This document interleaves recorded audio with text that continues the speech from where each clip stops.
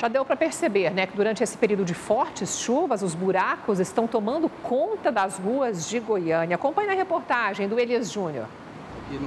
Moradores da Vila Fim Social em Goiânia colocaram literalmente a mão na massa para tapar os buracos da rua VF 22. Com a colher de pedreiro em mãos, esse morador deu o acabamento e, pelo menos onde estavam os buracos, ficou bem lisinho. O que, que os moradores estão tá fazendo aí para tampar os buracos? Olha o rapaz aí, ó. Prefeitura não faz, população tem que fazer.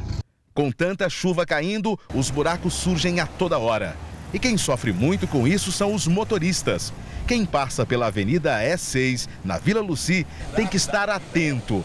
Olha o buraco aí. A questão desse buraco aqui no setor é o seguinte: quando chove, ele fica coberto pela lâmina da água e os carros vão entrando, batendo e aumentando o buraco. É tenso, né? É tenso pra gente que dirige aqui. Cada dia que passa, cai dentro de um buraco aí que tá muito difícil. E a poucos metros da Avenida E6, aqui na Avenida A, também na Vila Luci, o motorista se depara com esse buraco, anda um pouco, tem esse outro enorme, bem no meio da rua. E para quem vira e entra nessa outra rua, olha a situação. O buraco está bem aqui, tomando praticamente conta de toda essa parte da via.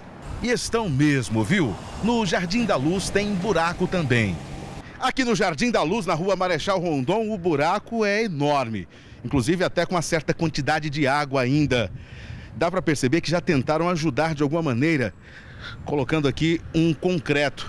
Provavelmente uma iniciativa dos moradores aqui da rua. Quanto mais chove, o buraco aumenta. Muito complicado, né? A suspensão do carro já, não, já nem compensa mais arrumar. Toda semana um buraco estraga tudo. É, realmente já está precisando fazer recapeamento, né? Tem muito buraco. Perigoso. E para quem pensa que bairros nobres não têm buracos, dá uma olhada na situação da rua 1123 no setor marista. A buraqueira tomou conta da via.